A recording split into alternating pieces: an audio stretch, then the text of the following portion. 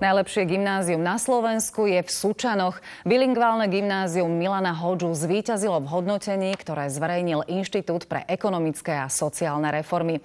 Škola je na popredných priečkách dlhodobo a to je vďaka odlišnému systému vyučovania.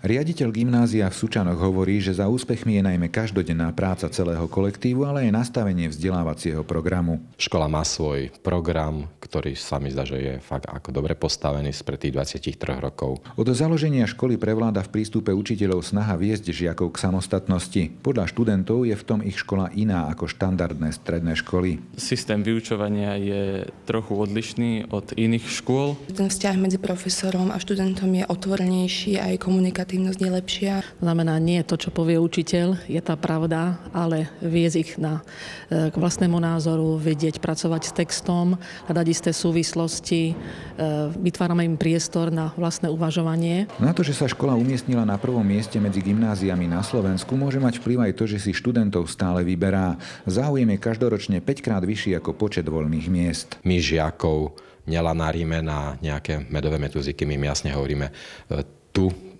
je miesto pre žiakov, ktorí sa chcú vzdelávať, chcú sa rozvíjať. Záujem študentov zo Sučian potvrdzuje aj to, že väčšina z nich úspešne pokračuje v štúdiu na vysokých školách v Česku, prípadne v Anglicku.